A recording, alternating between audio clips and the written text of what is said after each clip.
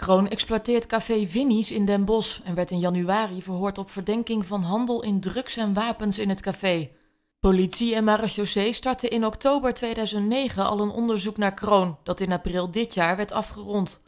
Het besluit voor vervolging werd toen niet genomen, omdat Geert-Jan Knoops, de advocaat van Kroon, meer tijd nodig had voor een eigen onderzoek. Dat werd eind juni 2010 afgerond.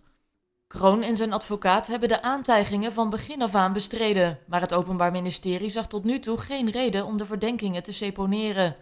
Vorig jaar kreeg Marco Kroon de militaire Willemsorde vanwege zijn heldhaftige acties als pelotoncommandant in Oeroeskan in 2006.